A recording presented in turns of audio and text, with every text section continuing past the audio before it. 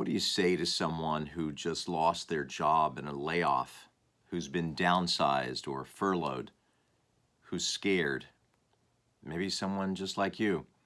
If you're in that situation, I want you to remember COVID 19 will end. This global pandemic will come to an end, but it won't be today. So, what do you do? you take a breath. When you and I can take a deep breath and we can breathe and we can focus, and then we reach out for support from other healthy people. You're not the only one going through this. You didn't fail, the economy did. And I know this what happens on Wall Street is not as important as what happens on your street. You're not in this alone. Reach out to others and know that we really can survive the toughest of times. You'll see in the next few days and weeks the best in people You'll see people coming together asking about groceries. They'll send you a text message, they'll send you an email, a voicemail.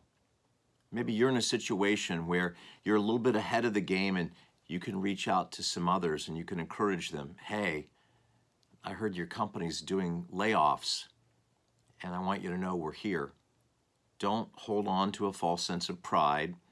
We all can get through this, but you can't hold it all inside. And if you're a parent, it's okay to sit down and talk to your kids and let them know that layoff, downsizing, furlough, it just means that we won't have a job right now and we're going to live a little differently. Maybe we'll move in with grandma, maybe with an aunt or an uncle.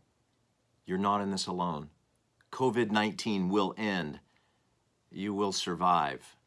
But you have to breathe and you have to talk and you have to reach out for supports and practice some healthy coping skills. If if you need to know more, please visit our website. It's a counseling group that I've been working with for over 30 years.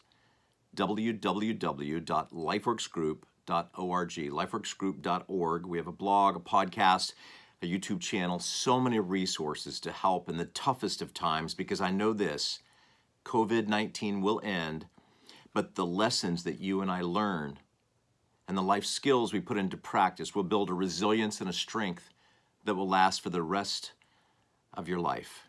Let's get started right now. Thanks for watching.